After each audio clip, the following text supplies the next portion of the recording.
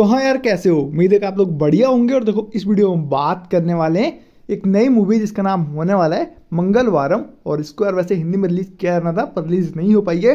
तेलुगु में यार अब शो देखने को मिल रहे हैं इसके। पहले स्टार्टिंग में तो थे भी नहीं। तो इसी मूवी का रिव्यू करेंगे इस वीडियो में, पर हाँ इस इंट्रो के बाद। Welcome to regional movies Review. अगर स्टार्ट कर ले इसकी कहानी से तो बेसिकली यार स्टोरी फोकस करती है इसकी एक गाँव पे, जहाँ पे यार कुछ मर्डर्स हो रहे हैं मंगलवार को। अब वो मर्डर कौन कर रहा है, किस रीजन से कर रहा है, इन सब बातों को जानने के लिए गाँव वाले एक प्लान तैयार करते हैं। और आगे चल के कहानी में क्या निकल के आता है, इन सब बातों को जानने के लिए आपको देखना हो मूवी को, जो शायद अब थिएटर्स में मिल जाएगी, या जब तक ओ टी पे नहीं आती है, तब तक आपको इंतज़ार करना पड़ेगा। फ़िलहाल तो लग गई है काफ़ी जगह, क्योंकि स्टार्टिंग में कोई शो नहीं मिला था। मूवी लगभग यार अट्ठारह तारीख में रिलीज़ हुई थी और अब जाके इसके कुछ शो रिलीज़ हुए हैं नॉर्थ में तो। तो अगर आपको देखना, अगर आपके आसपास में लगी है तो उसके लिए अगर सोच रहे हो तो दो मिनट यार पहले वीडियो में रुक जाओ। पहले सुन लो कहानी कैसे लगने वाली है प्ले कैसा है बैकग्राउंड स्कोर कैसा है प्लस पूरी की पूरी मूवी कैसी है।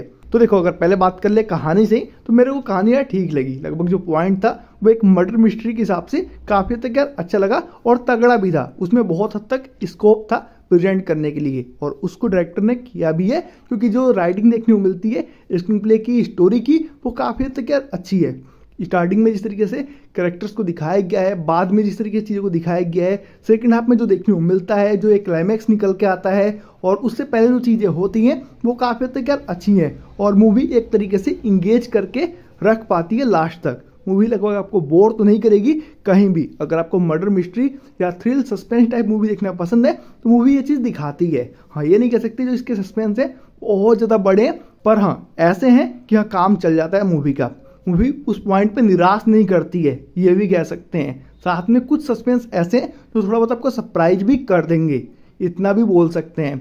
उसके बाद जो पूरा क्लाइमैक्स है, वो एक सेटिस्फाइंग वाली फीलिंग दे के जाता है और लगभग एक अच्छी एंडिंग बोल सकते हैं। उससे पहले भी जो चीज़ें होंगी, वो काफ़ी हद तक आपको लॉजिकल लगेंगी। और ये बहुत बड़ा प्लस पॉइंट है इस पूरी मूवी का।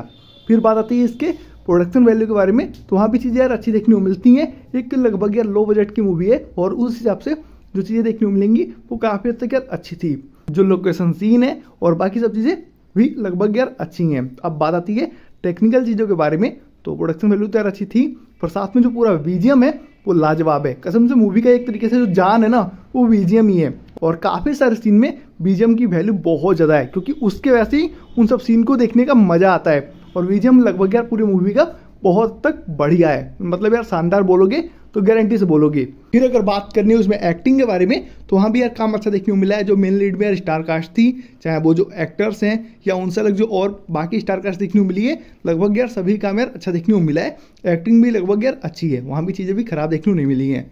तो अगर ओवरऑल बात करना इस पूरे मूवी के बारे में तो मेरे हिसाब से एक बार देख लेना चाहिए। स्टोरी की राइटिंग यार अच्छी है स्क्रीन प्ले अच्छा है बीजीएम अच्छा है एक्टिंग अच्छी है, बाकी जो पूरी मर्डर मिस्ट्री है और जिस तरीके से उसको दिखाया गया है, जो चीज़ें देखने को मिलती हैं, सबसे लास्ट में जाके क्लाइमैक्स में जाके, या इंटरवल में जाके, वो चीज़ें यार बहुत तक अच्छी लगने वाली है।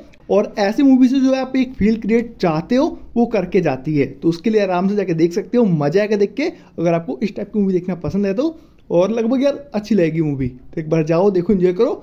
बाकी अगर वीडियो अच्छी लगी तो लाइक करो शेयर करो कमेंट करो। जल्दी मिलते हैं एक नई वीडियो साथ में।